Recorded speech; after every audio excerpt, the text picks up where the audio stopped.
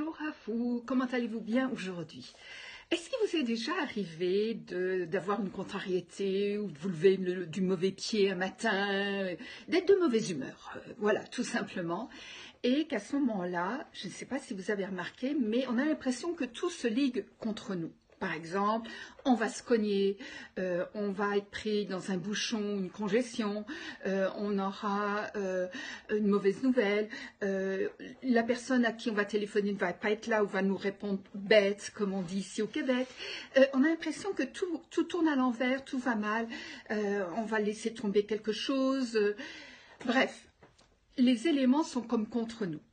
Et si par hasard, pour n'importe quelle raison ou événement, votre attitude change. Quelqu'un euh, arrive et vous fait penser à autre chose, vous apprenez une bonne nouvelle ou vous mettez à rire pour quelque chose. C'est comme si on était passé de l'autre côté du miroir. Et à ce moment-là, eh bien, euh, la vie vous paraît plus belle. Euh, ce qui vous énervait deux minutes avant a beaucoup moins d'importance. Vous n'êtes pas vous n'êtes plus aussi maladroit, vous vous prenez pas les, choses de la même manière. Et ça, je suis sûre que ça vous est déjà arrivé une fois ou l'autre. Si je vous en parle aujourd'hui, c'est parce que de plus en plus, on se rend compte que notre attitude a un impact sur, même sur notre environnement, même sur ce qu'on vit. Et c'est excessivement important. Alors, prenez-en conscience parce que vous êtes auteur de votre vie. Ne l'oubliez jamais.